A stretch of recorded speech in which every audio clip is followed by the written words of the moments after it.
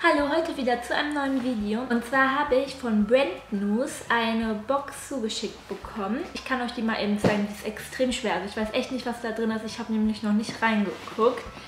Das ist die hier. Ja, ihr könnt jetzt sehr viel sehen. Genau, ich erzähle euch jetzt erstmal was über Brand News.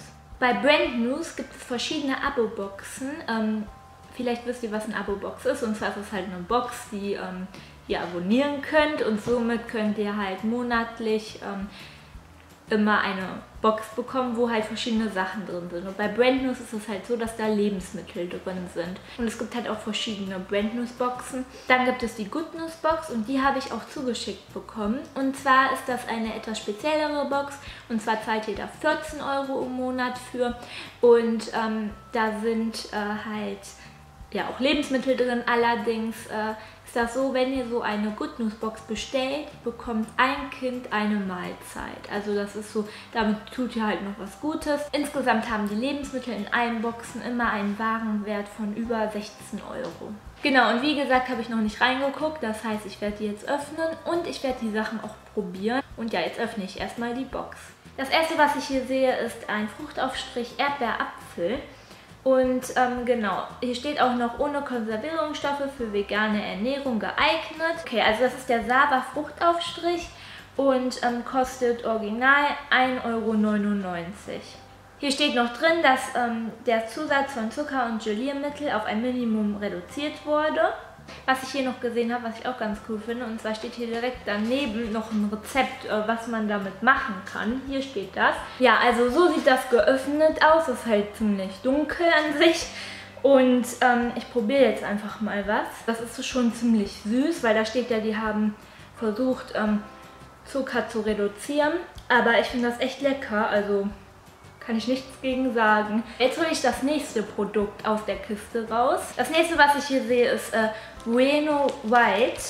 Und ich denke mal, jeder kennt Bueno. Bueno, ne? Ja. Von euch. Ähm, leider kann ich das jetzt nicht probieren, weil ich habe eine Haselnussallergie und da sind Haselnüsse drin. Also ähm, da steht jetzt kein Pre Preis bei. Ich denke mal, das äh, kostet so viel wie ähm, das Originale, also das Originale, wie das normale. Das ist eine Limited Edition also diese White Edition, die gibt es nur für kurze Zeit. Und hier steht, ähm, die, sie, also das sind knusprige Waffeln, gefüllt mit feiner Milch-Haselnusscreme und ähm, werden durch den zart schmelzenden weißen Schokoladenüberzug zu einem einzigartigen Geschmackserlebnis. Okay, ja, leider kann ich euch jetzt nicht sagen, wie ich das finde, aber wenn ihr daran interessiert seid, dann könnt ihr euch das ja kaufen. Und ähm, ihr könnt mir ja mal sagen, wenn ihr das schon gegessen habt, äh, wie ihr das findet. Okay, also weiter geht's mit Kaffee. Hier steht drauf, ähm, Kaffee des Jahres mit feinem feinen Noten dunkler Schokolade. Also das hört sich echt gut an. Und zwar ähm, ist das eine Sondergröße. Das sind 100 Gramm und die kosten 1,15 Euro. Also weiter geht's mit ähm, Kinderpunsch äh, von Hello Kitty. ähm, ja, also genau, das ist Hello Kitty Kinderpunsch ohne Alkohol. Man kann nämlich auch angeben, ob man Alkohol mit ähm, in dem Paket haben möchte oder halt nicht. Das sind 750 Milliliter und ähm, der originale Punsch kostet 2,99 Euro. Das ist halt ein leckerer Mix aus Apfel, Erdbeere, Himbeere, Johannisbeer und Holunderbeerensaft. Verfeinert mit würzigen Aromen von Zitrone und Orange. Okay, das nächste, was ich hier habe, ist ähm, Rapskernöl. Ähm, genau, und zwar ist das halt für die, die gerne kochen. Ähm, Rapskernöl nussig, nussig, naturrein aus erster Kaltpressung. Das sind 500 Milliliter und ähm, die kostet 3,99 Euro. Verwendet werden ausschließlich Rapssaaten aus kontrolliertem deutschen Vertragsanbau.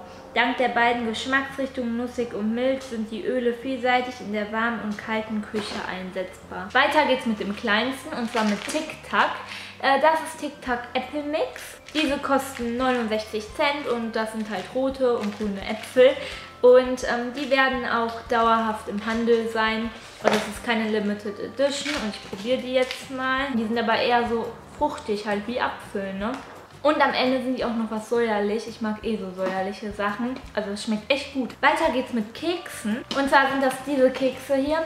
Die sind von Mac Quitis oder so ähnlich. Ich hoffe, ich habe es richtig ausgesprochen.